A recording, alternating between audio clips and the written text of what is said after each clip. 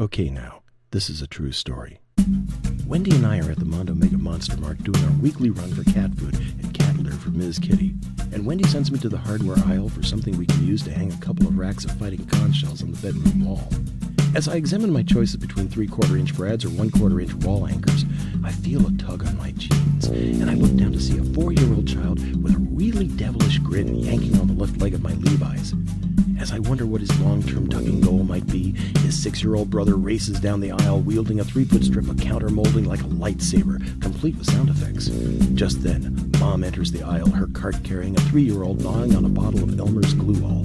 While Mr. Tugger continues in his attempts to depants me, Anakin Skywalker slashes at a roll of fiberglass insulation, shouting about how he once needs has to have the Nerf lightsaber with its second secret saber right now, now, now, or at least for Christmas. Mom yanks the Elmers out of the three year old's mouth and immediately starts screaming, then pins her laser like eyes on young Anakin Skywalker, grinches up her face, and says, Just remember I'm Santa Claus, so you damn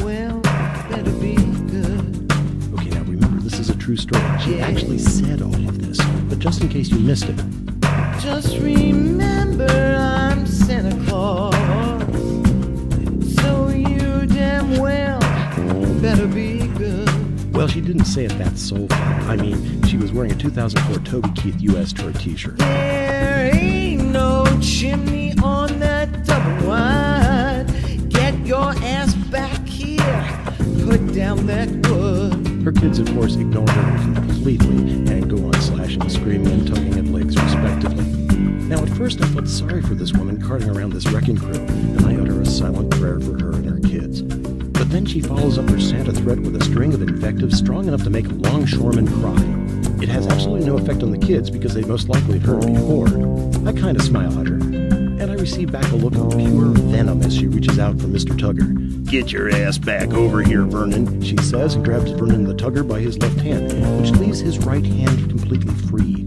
Big mistake. He reaches out with his right hand and yoink gets a nice big handful of my left mm, cheek, you know, the lower cheek. And he doesn't let go. And this kid's got one hell of a grip. I grin a somewhat nervous grin as she yanks her right hand free and pushes off after Anakin Skywalker, who is now attacking a row of clay pots in the garden department.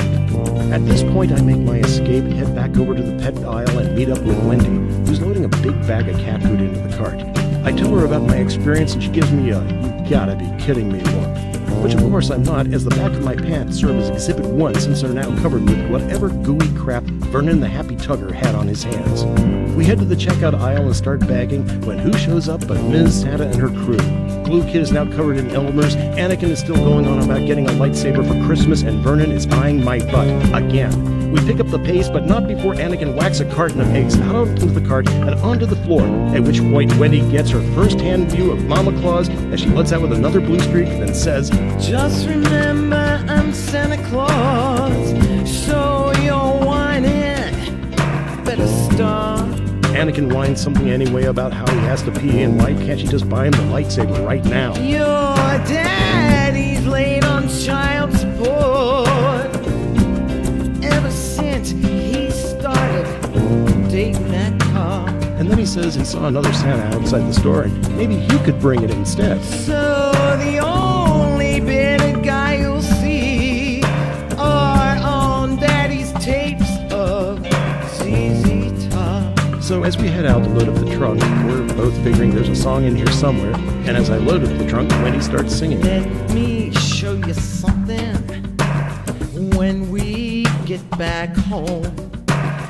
We ain't got no chimney on that double wide we don't own.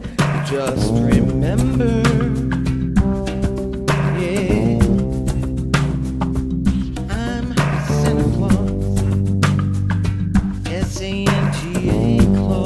Just about then, Mrs. Santa loads up her entire crew to a 1994 Ford Ranger and nearly backs over before she peels out. But at that moment, I see the lone bumper sticker on her truck with only three words on it Ho, ho, ho. And seeing that bumper sticker caused a light to go on in my head. Hell, I might have to reconsider everything I knew about Santa Claus. Just remember I'm Santa Claus, so you damn well better be good. Hey, Hey, it's been a tough year. What if Santa was forced to downsize, move to Callaway, and take up a secret identity? Just remember I'm Santa Claus.